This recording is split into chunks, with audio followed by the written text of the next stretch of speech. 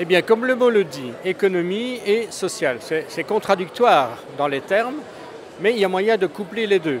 Donc ce sont des activités de production, de services, donc des entreprises, hein, avec des actionnaires, avec de la formation, avec des emplois, et social parce que nous voulons former, nous voulons intégrer des personnes qui sont plus éloignées de l'emploi et qui peut-être sans ce tremplin-là n'auraient pas accès à des emplois. Et en finale, euh, nous voulons mettre l'accent sur tout ce qui est environnemental. Donc on a une finalité sociale d'économie circulaire, comme on dit aujourd'hui, donc de, rester local, de travailler à la rénovation euh, de bâtiments, par exemple, euh, le recyclage des déchets. On a tout un département pour les photovoltaïques, etc. En fait, ici, il y a 10, acteurs différents. Certaines, ce sont des, fédérations, ce sont des, coachings. D'autres, ce sont des, sociétés, généralement coopératives. Donc, on a 30 ans pour le coup de main. On a 15 euh, ans pour Sophie. Ça, c'est les déchets électriques et électroniques. On a 10 ans pour le centre d'affaires. On a 5 ans pour les titres services avec euh, la centrale de repassage. Et je vais dire six mois pour Recimo, la petite dernière, qui est une immobilière. Pour la formation, il faut être demandeur d'emploi. Il faut donc euh, avoir suivi déjà toute une série de, parcours difficiles, CPAS, euh, réfugiés, etc. Et on, les prend pendant 18 mois maximum. L'idée, c'est, après un certain temps, de les mettre en stage en entreprise. Ils sont en formation théorique, hein, un jour semaine. Tout le reste du temps, c'est sur des chantiers ou dans des ateliers. Donc c'est l'alternance, pratique, théorique, plus tout un coaching social pour qu'ils restent euh, à l'emploi, évidemment. Hein. Et puis, euh, il y a tous ceux qui ont fini leur formation et qui ont alors à ce moment-là un emploi et on essaie qu'il soit à durée indéterminée dès le départ, ce qui est quand même un fameux défi. Donc, pour la formation, c'est l'ISP, c'est le coup de main, et pour euh, les emplois, c'est les coopératives à finalité sociale, c'est RECMA, SOFI, ASC, euh, voilà. C'est-à-dire qu'on a les deux. Hein.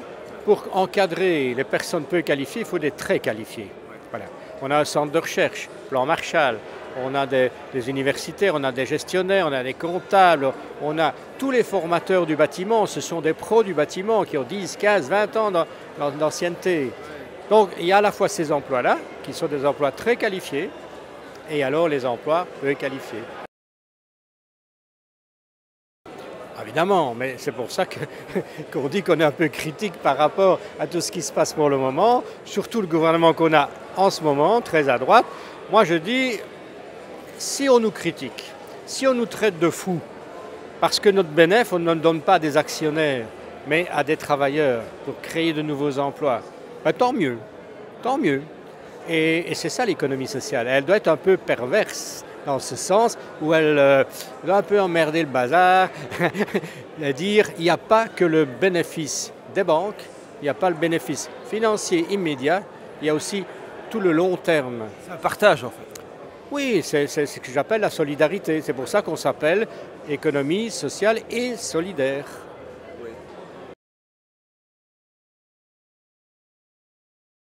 Mais oui, je crois qu'il y a deux aspects. Euh, il y a d'abord l'aspect euh, évidemment euh, de, création d'emplois. C'est ce qu'on s'efforce de faire, ce qui n'est évidemment pas facile dans les circonstances actuelles. Mais à côté de ça, une fois qu'on a créé l'emploi, il faut le pourvoir. Et donc il faut que quelqu'un soit apte, dans le fond, à répondre à, l'offre d'emploi. Et pour ce faire, bah, qu'il ait la meilleure formation possible. Et donc c'est vraiment l'aspect de se dire, il faut à un moment donné qu'on puisse mettre en, en, en, en parallèle, je vais dire, d'un côté les emplois qui sont demandés et de l'autre la formation. Parce que parfois l'adéquation n'est pas la même.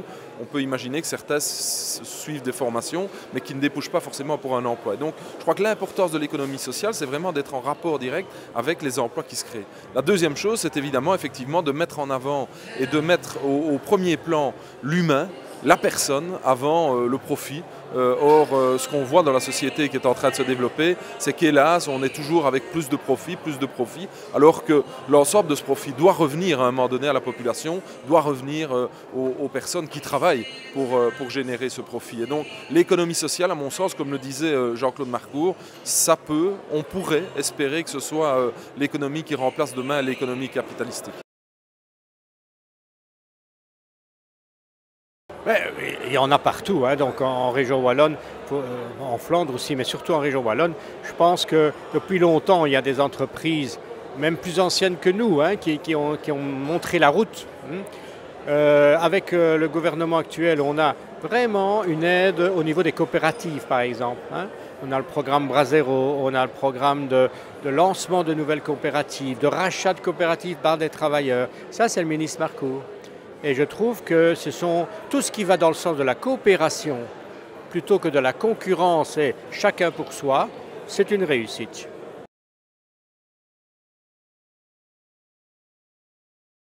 Le principe coopératif, c'est un homme, une voix.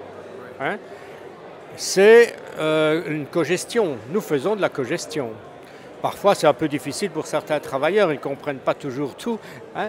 mais euh, au niveau des responsables, au niveau des, niveaux de contremaîtres, etc., il y a une réelle participation et on a tout le temps, tout le temps des contacts avec les travailleurs. On a des, des conseils d'entreprise en permanence, nous.